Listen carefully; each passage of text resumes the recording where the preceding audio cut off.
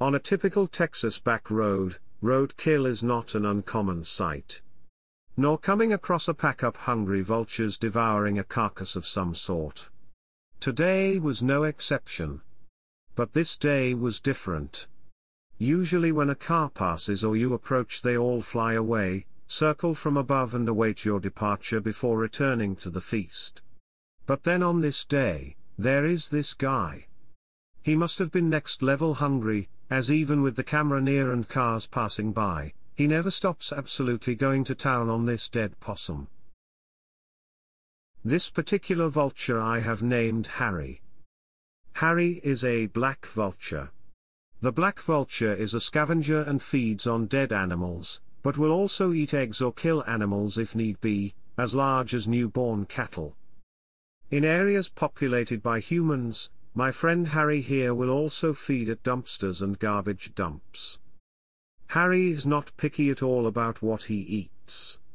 Black vultures find meals either by using keen eyesight or by following other vultures, as they have a keen sense of smell. Black vultures aren't nearly as accomplished sniffers. Harry also lacks vocal cords and as a result is only able to make grunt and hissing noises. When it comes to sexy time Harry's mate will lay eggs wherever it can, even if just on the bare ground, generally Harry will raise two chicks each year, which are fed by regurgitation. Just imagining that causes me to regurgitate a little myself.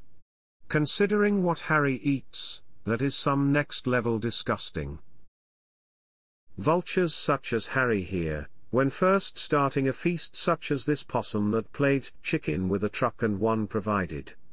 The soft tissues are eaten at the start, typically the eyes are eaten first, then next the yummy yummy anus shortly after. Harry is a lifelong member of the brown tribe.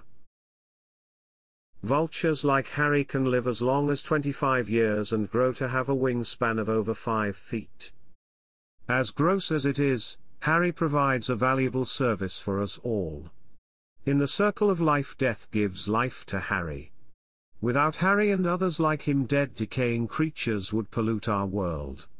For this we salute you Harry.